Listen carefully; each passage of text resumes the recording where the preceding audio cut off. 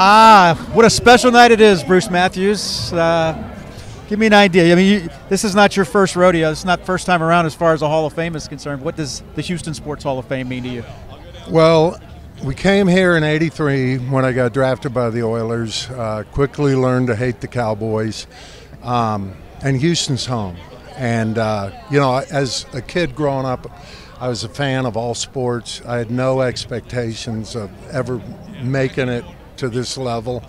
And, uh, you know, God blessed my whole family to be able to play and um, allow us to hang around for a while. And I think what makes it so special for me are a couple things is the fact that I'm going in with uh, Calvin Murphy and the Big E, which is huge to me.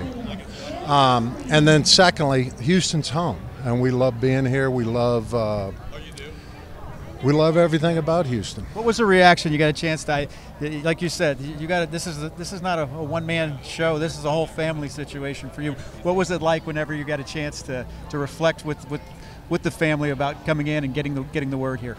Um, I think the biggest thing for me is just recognizing every day as I see my grandkids and my kids as they've gone through the process and um, they love Houston. They love uh, all the Houston sports teams, and uh, you know their dad's biggest fan. Yeah. So they're very excited to be a part of this tonight. When you came here from in 1983, did you ever ever think that you know things would come to come to where they are today? Heck no, absolutely not. I mean it's a great surprise, and I'm very honored and blessed to be here tonight. Very good. Thank all you. Right.